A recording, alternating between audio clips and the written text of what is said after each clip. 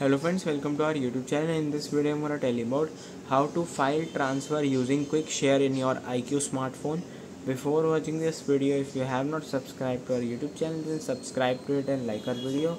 So let's start friends. First you have to simply open your files by google or any of your app like gallery or something. Then you have to click on any of these like images video which you want to share it. Then long press to share it. Click on share button here it is quick share. You have to click on it and you have to turn on the bluetooth and the person who is receiving you have to also told his or her to open the bluetooth. Then uh, here the device name you have to click on it and it will be quick share. I hope you like this video. If you like this video then subscribe to our youtube channel for more helpful tips and tricks videos. See you next time